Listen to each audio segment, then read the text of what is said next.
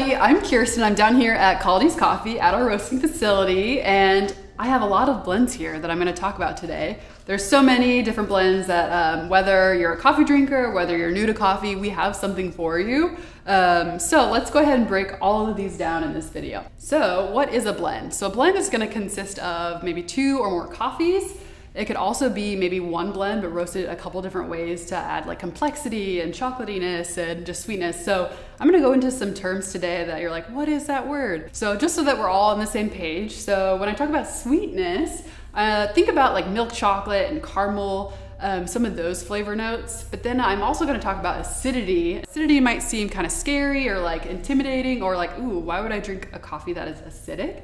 So all coffees are gonna have some acidity. It's just like how much. So think of maybe like citric acids or apples or grapes, any type of like fruit like that is gonna have some acidity. And so some of those acidity flavor notes do come out in roast profiles when they're a little bit lighter. And then the big one that we're looking for and what's really important in coffee and when you're cooking and baking, a certain balance. Maybe when you have a coffee, it shouldn't be super, super acidic and it shouldn't be just super bitter, but something that kind of plays well with all of those. Let's get into it. So the first one on your list is going to be the breakfast blend. And this one is gonna have uh, milk chocolatey notes, but if you're looking for something that's like nice and subtle and sweet and also a little bit fruity, this is a really good blend for you. Then we have our cold brew blend, which is called Haya. So Haya, what is that word? So it's the Amharic word for 20, and that is the um, Ethiopian language.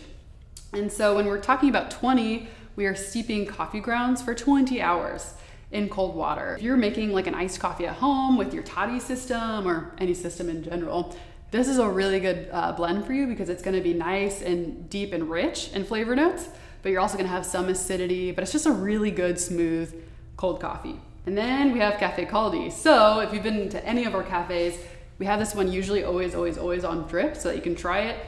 It's good for somebody who's starting off in specialty coffee, but also have never maybe had ours um, to somebody who likes maybe something dark or light. It's kind of that nice like in between balance.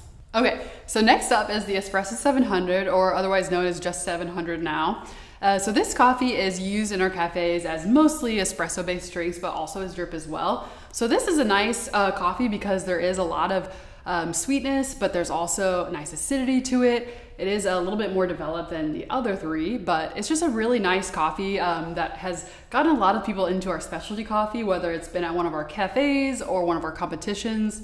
This one's just a really good coffee overall if you're looking for something smooth and balanced.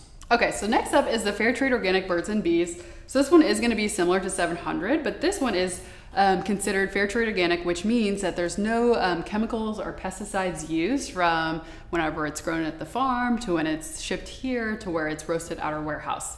And actually, we do store any organic certification coffee separately than our other coffees as well. So for all you coffee drinkers that need a little buzz but not too much, we do have a brand new coffee called Half Caff and it has half the caffeine of any of the other coffees. Okay, so now we have our Decaf Cafe Kaldi. So this one is gonna be completely decaffeinated and we do use the Swiss water method, which uses um, no chemicals at all to decaffeinate your coffee. Next up is the Fairtrade Organic Natural High. So this one's gonna be most similar to the Cafe Kaldi, but it is um, a little bit more developed and Fairtrade Organic. All right, next up is the French roast. So if you're looking for just like a nice classic dark roast, French roast is a really good option for you. And we also have that in a fair trade organic option as well. So the last coffee is Malta. So Malta is a very tiny island next to Italy, or otherwise known as the Boot, which is kicking an island, and the island next to that one is Malta. So this is um, a very um, dark coffee that's gonna have no acidity at all. So if you just want something that's really gonna be very chocolatey and sweet, but no acidity, that's a really good option for you. Cool, so that is all of our blends. I know we have a lot, but whether you're looking for something light and classic, something medium, something really dark, um, even decaffeinated, we have something for you. And that's what I like about all these blends is that whether you have friends and family who are all maybe coffee snobs or maybe they're not into coffee at all, there's gonna be something for them. So I hope this video was helpful for you. And if you have any other questions, go ahead and feel free to reach out to us. And I hope you enjoyed the video. Thanks so much.